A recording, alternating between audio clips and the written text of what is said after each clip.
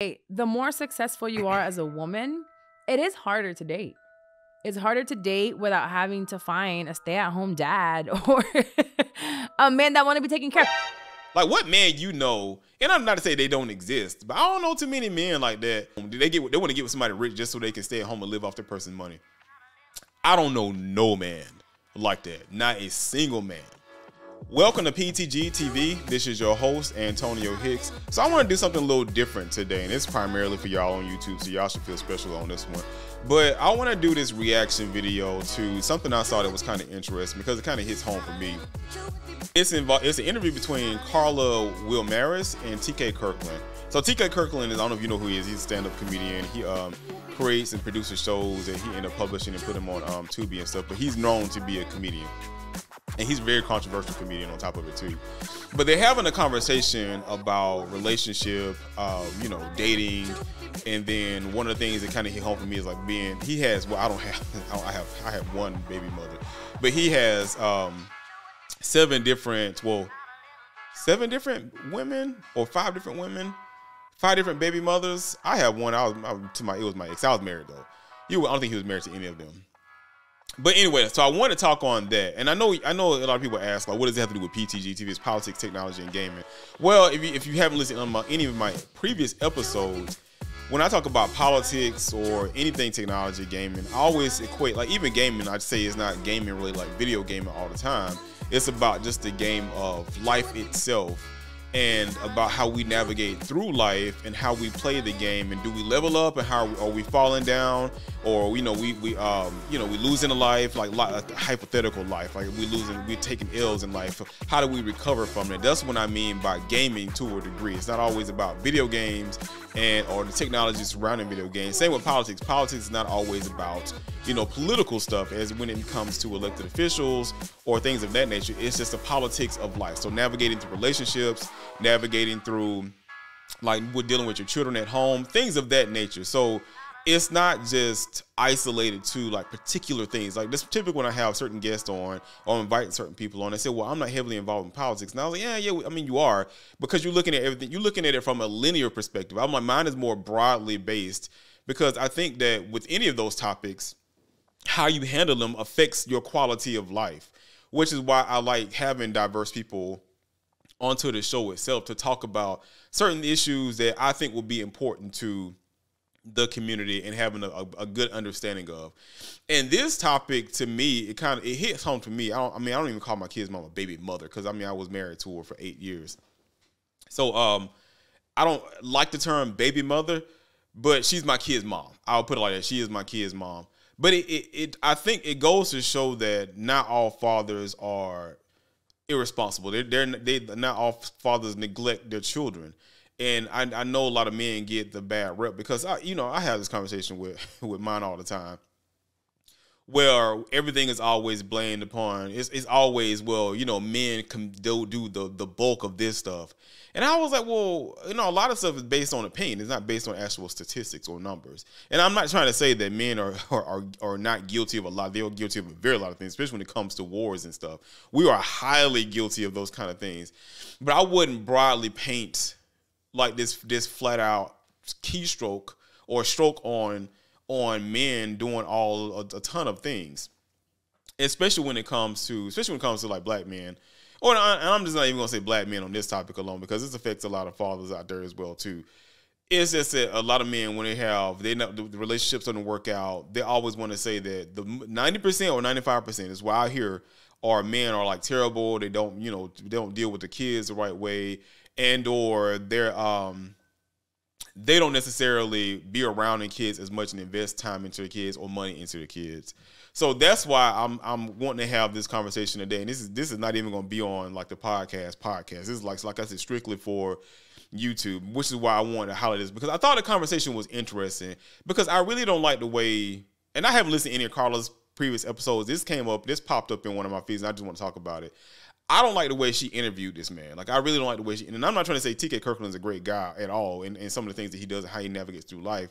But kind of like what he says in this interview that you know, he has to grow from the mistakes that he's made and acknowledge that he's grown from those mistakes and try to help people not to go down the same path that he went down. And the way that she interviewed him, I it kind of rubbed me the wrong way. So I mean, without further ado, let's, let's just get started on it, and then you know we'll just um pick up the conversation from there. Love is Blind is a series of date a dating show on Netflix. Now, here's a scenario: you're like on this fifth date with this person, right? You're getting to know them, you really like them. Then you go to their house, and he's like, "I'm gonna cook you dinner."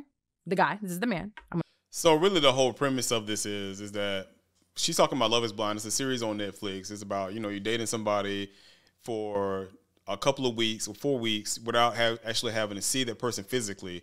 You're just communicating them through messages and or through like uh, the, talking on the phone or whatever, but you don't get to physically see their face until like after the fourth week. So if you like the person within a little four week time frame, after that you can agree to meet up in person. And once you agree to meet up in person, that's when you first when you first meet them.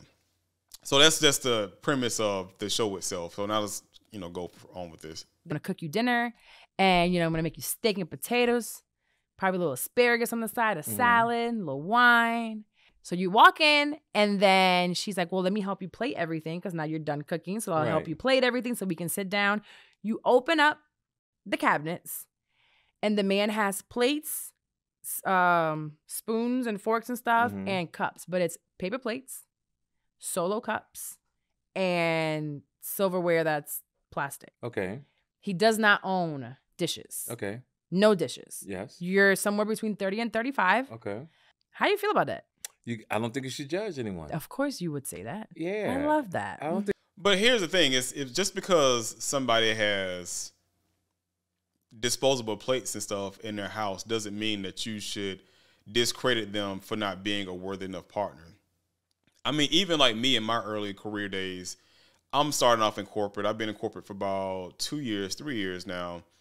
I was um I was boxing. No, two years. I was still boxing. So it's like I was I would go to work. I would work from you know regular nine to five, and then once I left work, I would go to to the gym for the duration of the day. So I would be at Bally's, if y'all remember Bally's, for like two hours, and then from Bally's I would go to my boxing class, and I would be there until about almost eight thirty at night till the gym closed down. So then once I finally got home, like my house, my apartment was about 35 minutes from where I worked out at, from uh, the boxing gym. So I would get home like around nine o'clock. So it's like, I, and I did that Monday through Friday. Like I would do that relentless Monday through Friday because I wanted to be a boxer. Of course, I'm not, but I want to be a boxer. So I'm like, I'm trying to understand. So when I got home, I mean, I'm trying to grab something to go once I so I can eat once I get to the house. I'm not cooking thin- anything up to actually put on any like actual porcelain dishes or whatever. So I'm like, so does that discredit me? Because I mean, I had only I had those things because you know my parents gave them to me when I moved out. Uh, they gave me, you know, when I moved to my second apartment, they got me some dishes or whatever. They gave me dishes that they had left over because my parents, my mom's a hoarder, so she had a, a hoarder. She had a whole bunch of dishes that she ended up giving me some of them, and that's what I had in my apartment. But I'm like, still though, I'm working in corporate America. I'm, I mean, I got a good enough job, so if I didn't have those things, I could not have had any dishes at all because Monday through Friday, I'm eating out because I'm at the gym. Like I'm, I'm working, and then when I left, like I get, I'm getting to work at like seven thirty in the morning, and I'm not leaving work until five o'clock. And then from five o'clock is Bally's, what it- it's the gym, regular gym, and then my boxing class. So I'm not seeing home Monday through Friday until like nine o'clock, nine thirty every single day. So I'm like, so if I don't have hard plates in the house and, and silverware, silverware. I'm like, well, how does that discredit me and say that I'm not a decent enough guy to be going out with? Because I'm like, what does that have to do with anything? I'm like, did I have furniture? I absolutely had furniture in my house. I had furniture throughout my whole house. I had a whole bedroom set. I had every, I had everything. I had a full den set. I had dining room tables and everything. So it's like I had all of those things. But even if I didn't have dishes, why does that even matter? Like, why is that something to judge somebody off of? And I find it interesting that it always comes back to men that have to have all these things. And I don't, I don't understand it because always men get judged so harshly. And we, we are picky too when it comes to certain women. I'm not going to discredit that, but I promise you this one thing: there is no man that will tell a woman no, or he gonna walk out. He's not interested in her because she don't have like hard dishes in her house or a, a full set of glasses or whatever. No man is going to ever tell a woman that, but for her, is she sitting here saying that a man got to have all these things? I dated somebody that didn't have furniture in their place. I didn't commit to it because I'm like, you got to take care of yourself first before you get into a serious relationship. But I did date somebody. They didn't have any furniture in their house and they slept on the air mattress. This was wild too. But I'm like, but I told them straight up, I was like, I can't commit to somebody like you because you still got to get your life together.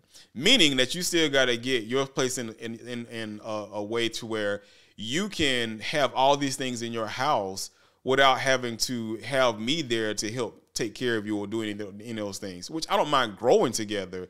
But I still think before you get into a serious man and women, before you get into a serious relationship, you do need to have your life in some form of order. Like there has to be some order in your in your life, in your house. I'm, but I'm not getting mad at you. Like if, if she had all those things, I'm not gonna judge her because she don't have like dishes, dishes. I mean, who? I mean, really, who cares about that? I have no problem eating off a freaking paper plate. Food is food. It's gonna get eaten anyway. So I mean, hey, if it cut back on dishes, yeah, it adds more to waste. But if it cut back on dishes, I mean, whatever. And I'm not saying I'm not lazy. I mean, I I have all that stuff now, but who cares? I'm like, I'm not judging anybody off that. But anyway, you know, back to the story. I think you should judge anyone.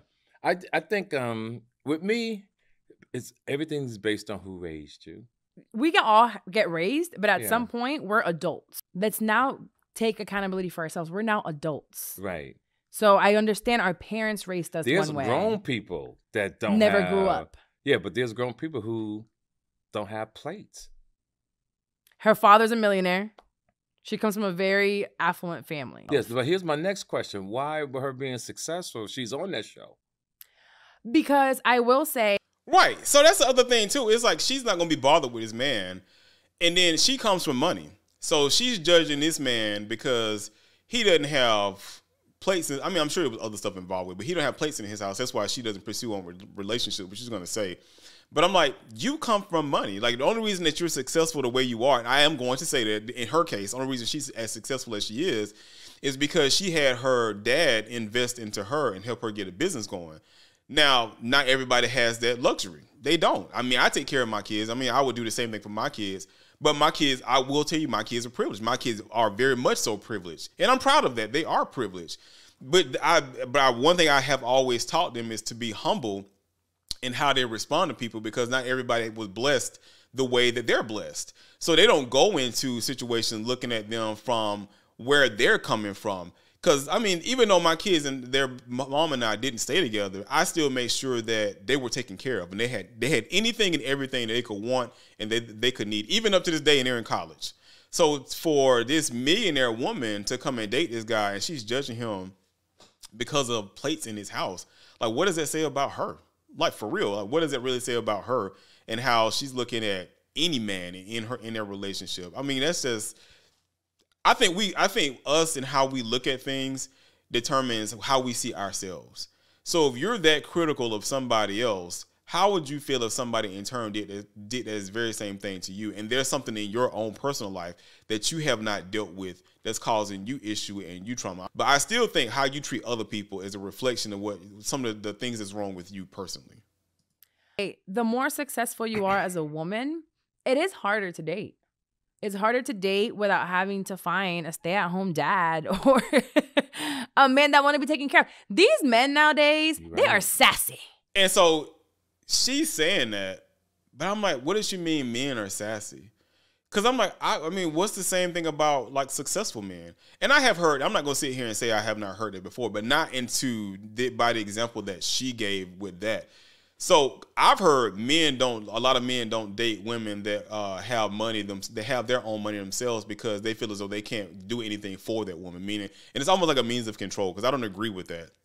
Because I believe me, I have no problem with dating anybody with any kind of money. I don't care. I'm not looking to get their wealth. I don't even care how much money you got. Like I really don't care how much money you got. Uh, unless as long as you can take care of yourself, I don't think it should matter what the person has in their bank account. I mean, because it why should it matter?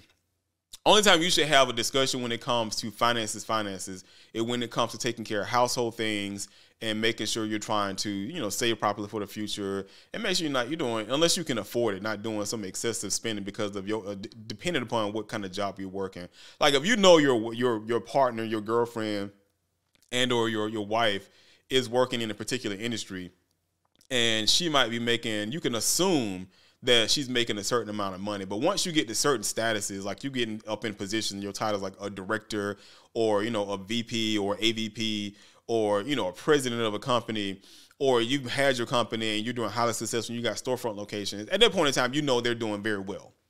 And it, as long as they can take care of basic essential stuff, it shouldn't matter what the individual have in their account. Because I mean, nobody should be looking at any means that they have. They can the only way they can they can they judge a relationship is them being able to actually pay for the other person.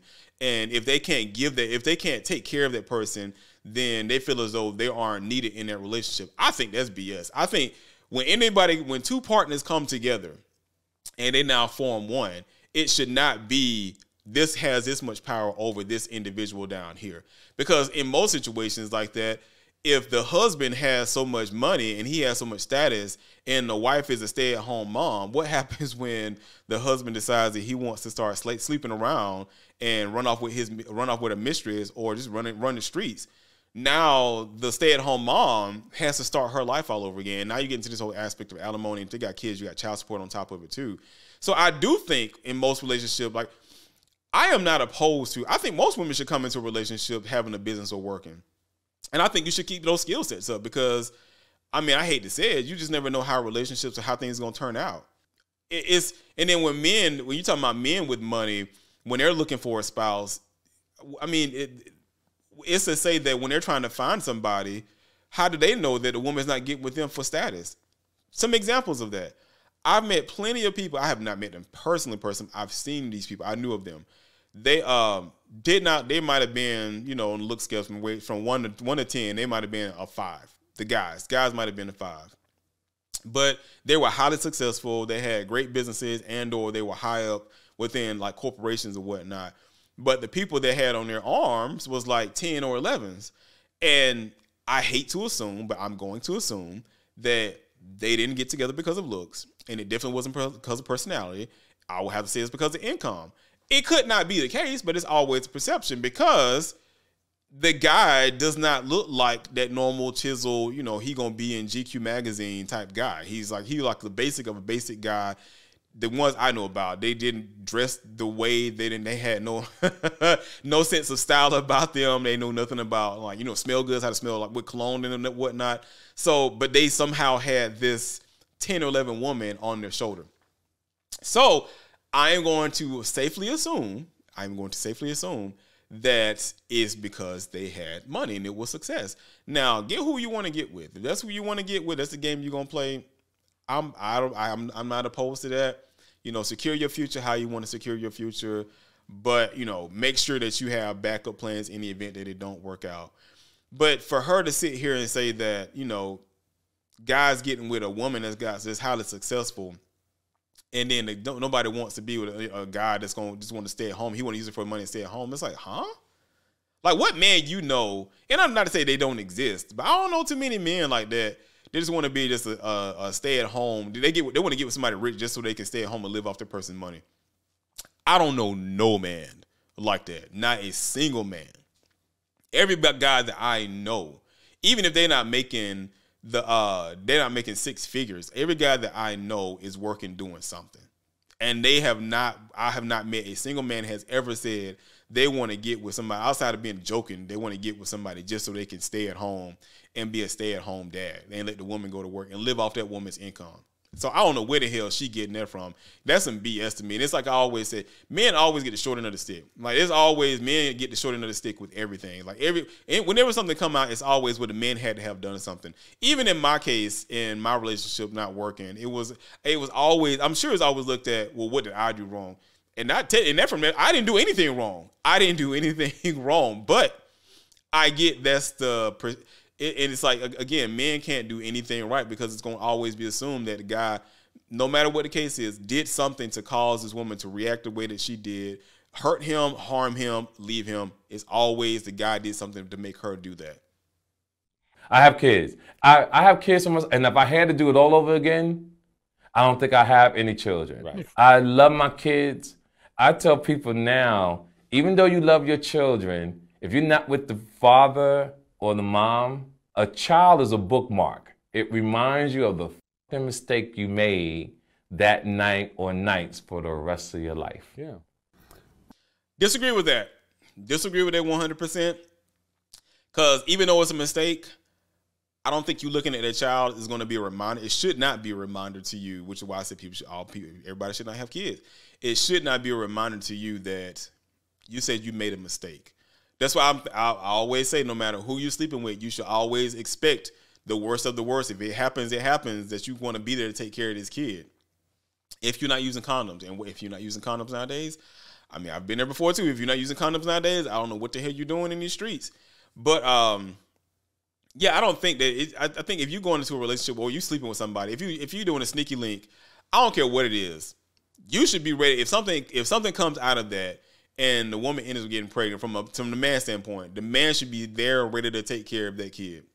Whether he wanted it or not, he should be there ready to take care of that kid. And then when that kid gets here, he should not look at that kid as a disappointment to himself to be like him remind him of a potential oops that he had in his life.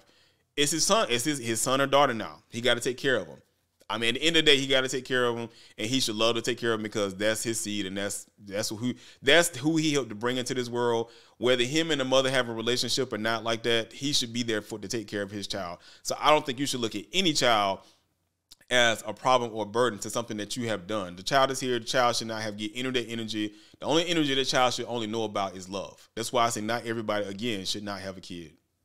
You have seven. Yes. I can understand one being an oops. Yes. I was 17 when I got pregnant with my daughter. Yes. 18 when I had her. Mhm.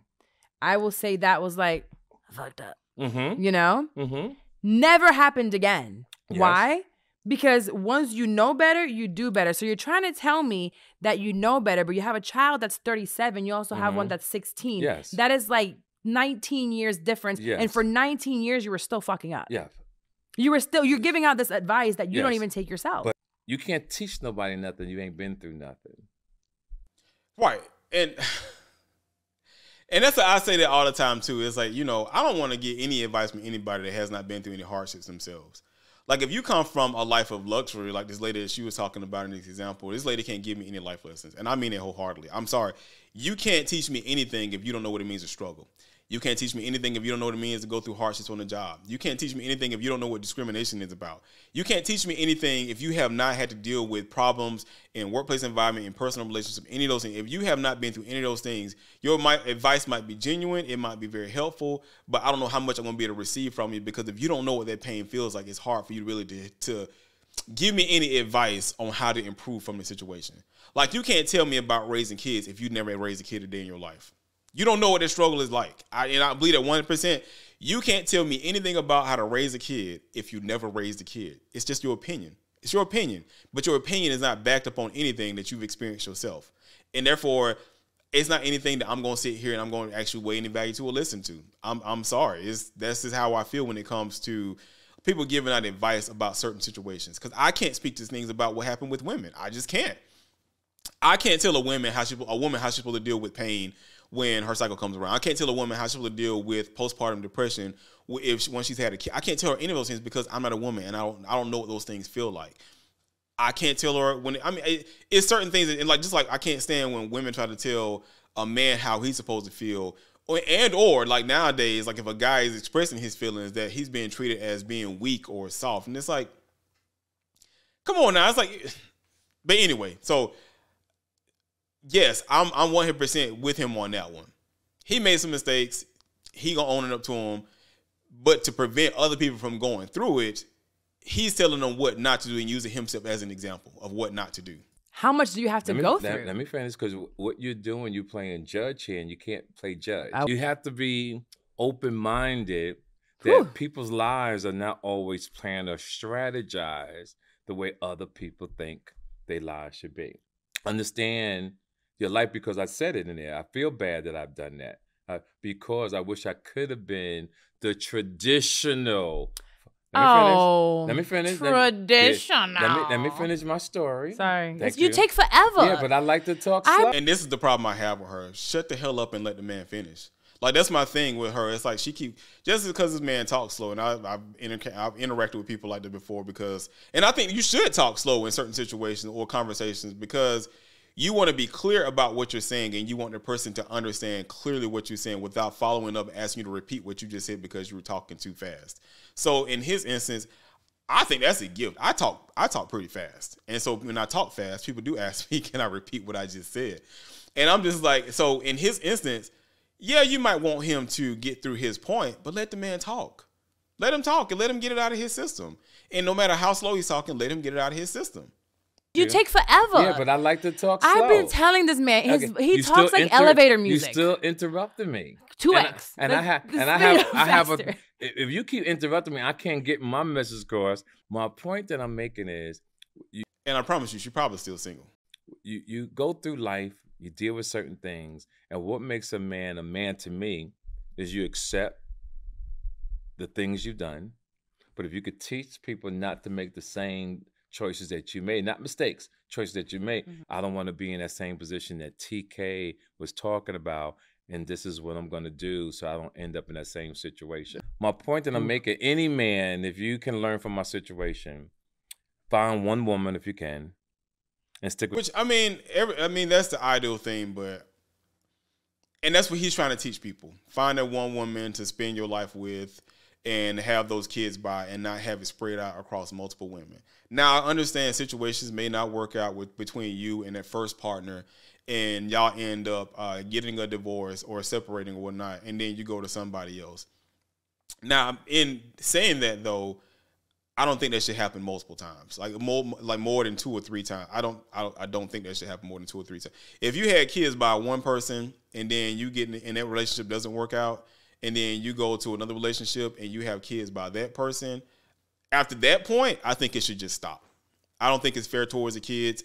I think it should just stop from there, and the guy should get a vasectomy. One hundred percent, guy should get a vasectomy because I, I mean, yeah, I, I think the guy should get a vasectomy because I don't think that it's fair towards those children, and it's not really fair towards. Um, you got to think about the kids, the mothers. I mean, I, I really, I, I do not, I do not think that's fair because now they need help too.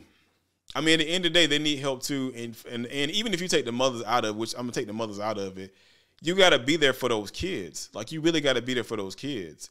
And I think it's kind of hard to balance yourself out between so many children. Even if they're in the same household, I still think it's hard to give 100% to every single child. You got to break that up to where they can see you 100% of the time if they're you're in the same household. But when it comes to being present like at events and things of that nature, it's somebody's I, I just I, I'm always thinking somebody's going to miss out.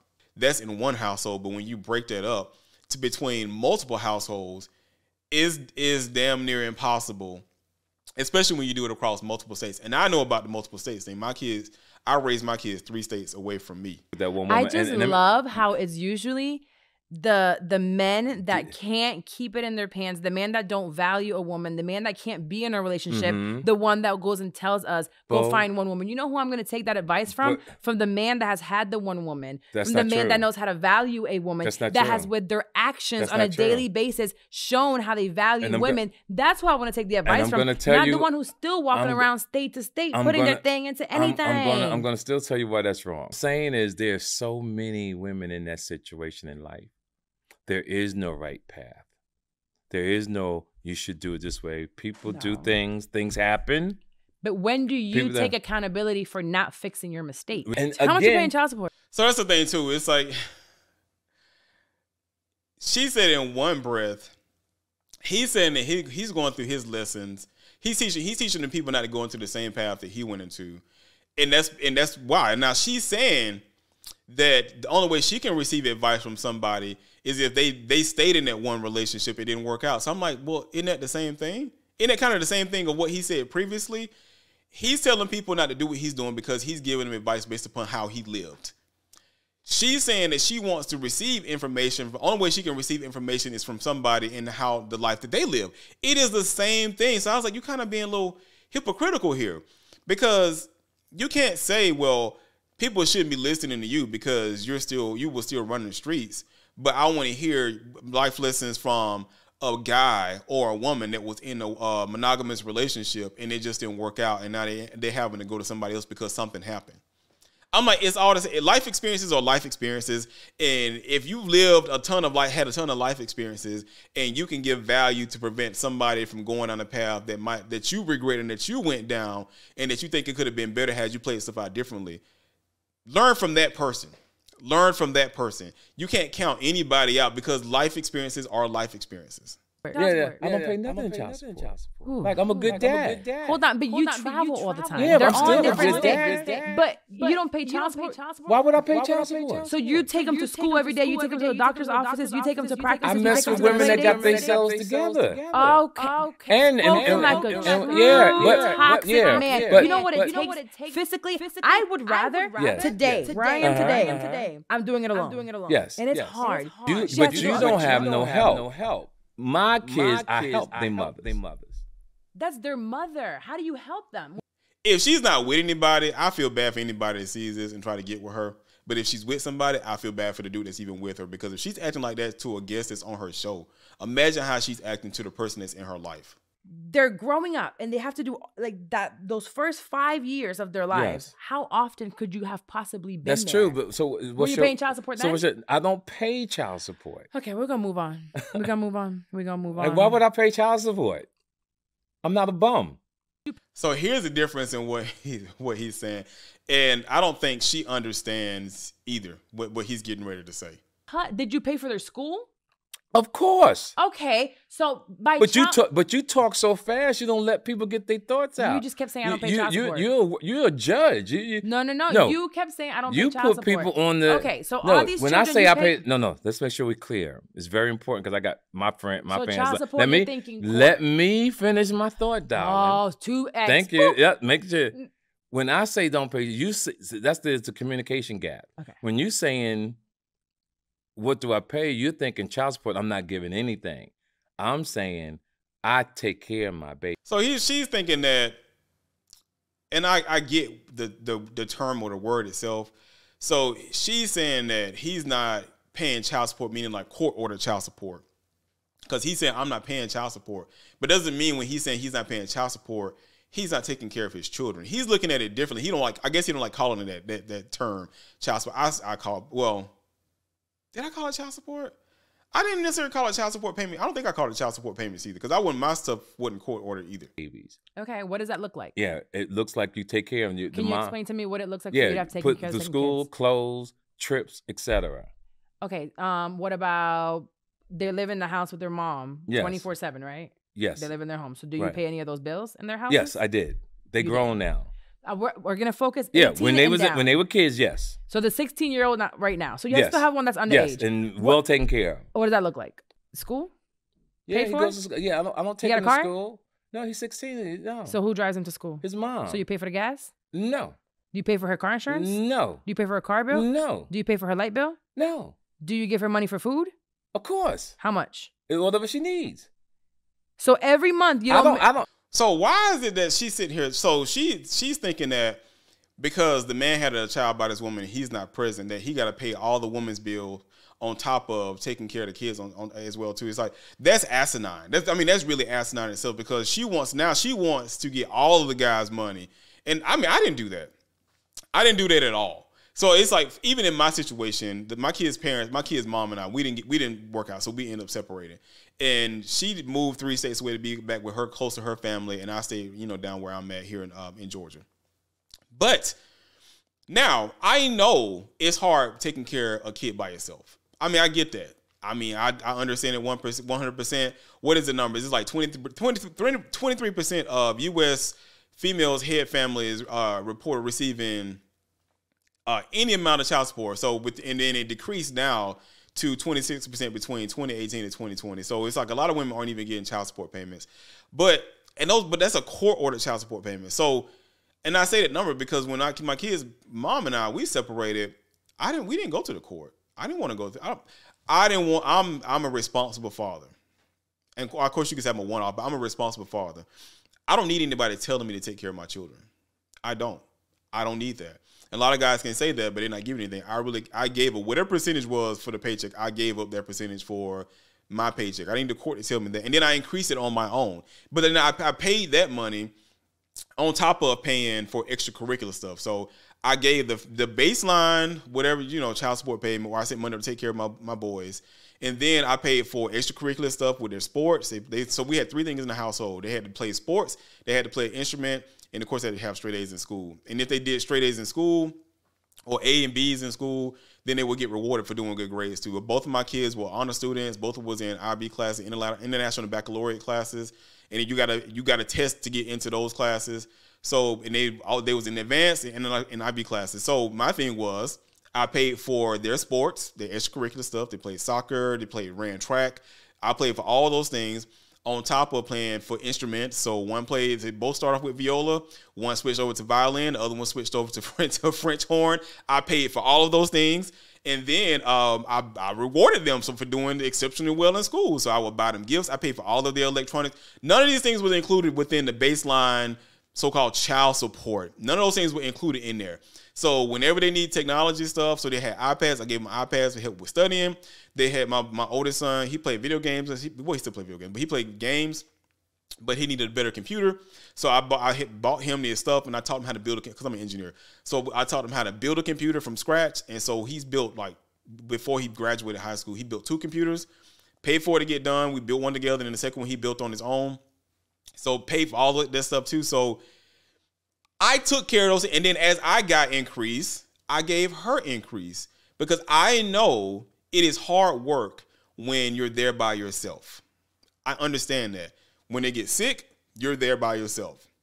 Now, fortunately, if if my um my kid's parents, my kid's mom was still down here with me, then I would have picked him up.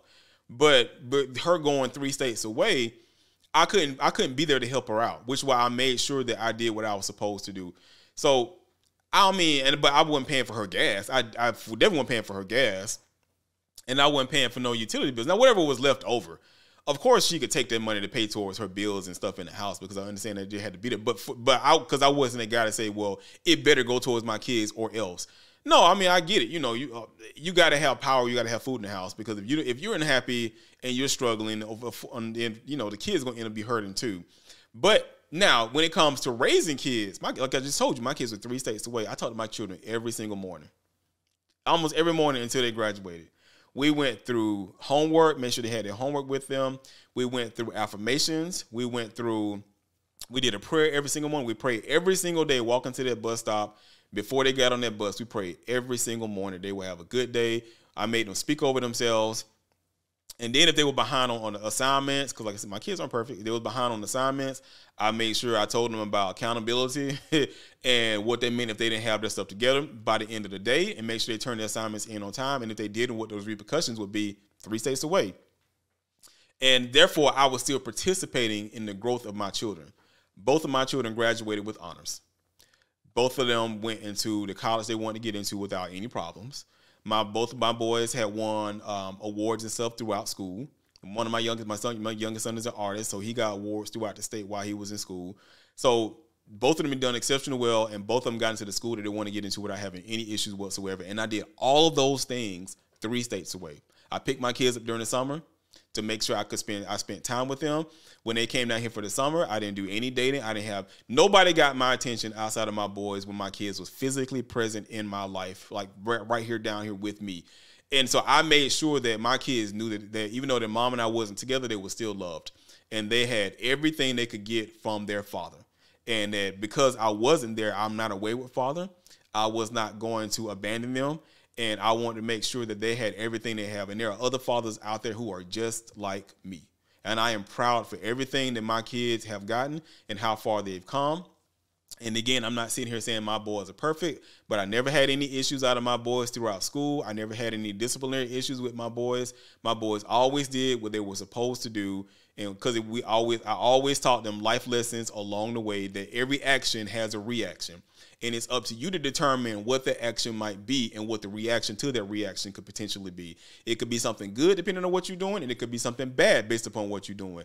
It's up to you to determine what you're gonna do and what the reaction to what you're doing is going to be. And that's a life lesson I taught them, and I still preach it sometimes to this day. But they're grown now. Then I mean, they're not grown, grown, but they're they're old enough to know that I instilled it into their lives from what the age of four that we weren't together all the way up until they were 18.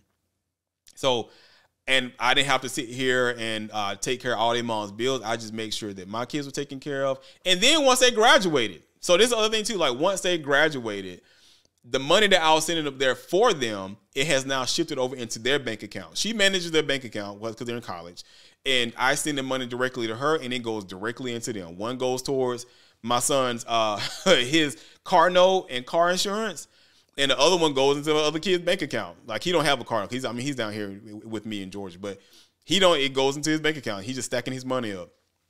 So I again, it's you can't. That's why I'm like I hate when people have this finite thing of like what men are. I'm like no, not all men are like that. I'm like I love my boys. I made sure that my kids. Are I had kids because I want to have kids. I made sure they were taken care of, and I still make sure they're taken care of. I do.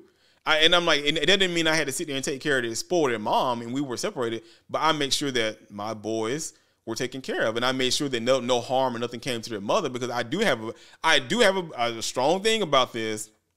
I told my, my spouse that too. I'm like, I have to make sure that she's okay because if she's not okay, then something could potentially happen like mentally to my boys, and I can't allow that to happen because we don't need any more sorry men here in this world or sorry children in general in this world. We got enough grown people that's terrible. We don't need any more coming up from the generation above. So I need to make sure that she's okay and she's mature.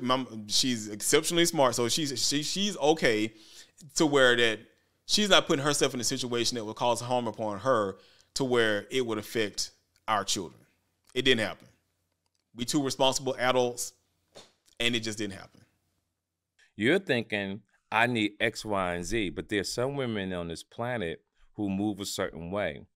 And when they need something, because if you got your stuff together, um, so how so, about you get your stuff together? Some too? women will say, "Baby, I need this," and it's done. Baby, that, you know you are my baby's daddy. No, no, no, no. We made a mistake, there right? You, remember? There, there, you go again with the energy and your toxic energy. I don't know. And, and and the and the I way matter of let me finish. And your energy influences negativity. You're not no. you don't stay calm. Listen to what I'm saying. Okay, go ahead. I'm I'm giving you my point. When you do all that and in, in the tone of your voice creates that type of energy. Okay, so what I'm saying to you is there's people on this planet that just totally move a different way. You're not child support. You're not a judge. Mm-hmm. All not you can do is say what you would like for your life.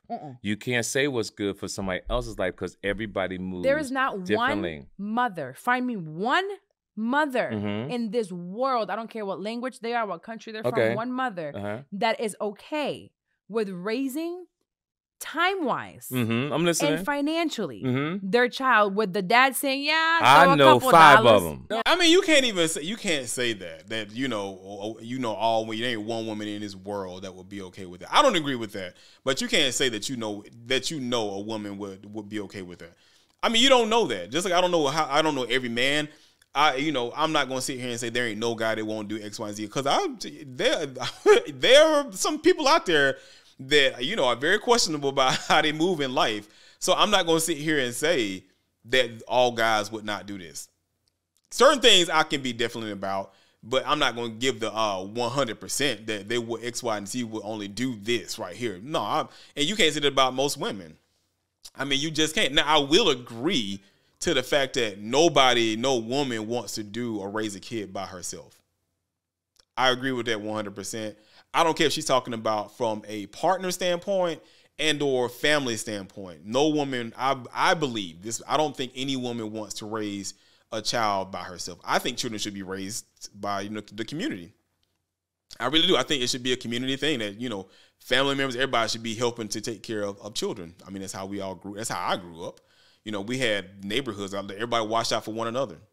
So if I, if I was, if all of us are doing something wrong, running the streets, then the neighbors and everybody up the street would come out and get on us, and then they would tell it back to my grandmother and my parents, and we we would get hit three ways. We would get hit three ways. So to say that definite thing, I don't agree with that 100%. But I will say, to her point, to a degree, no woman wants to do it alone. I don't believe no woman wants to do it alone. Thank y'all for tuning in this episode. Matter of fact, y'all leave y'all opinion down below. Let me know, you know, how y'all feel feel about this on this discussion and we can talk about it more in the, in the comments. And like I say, I know this is like different than what I traditionally do on the channel itself. But I mean, politics and stuff and moving in relationships is all about politics and how you manage stuff in life. So Thank y'all for tuning in again. Make sure y'all hit the like and that subscribe button. Go check out some of my previous episodes. And then make sure y'all tune in for some of my streams. I stream on Mondays and Wednesdays between 7 and 8 o'clock at night. I'm trying to get TikTok in there now.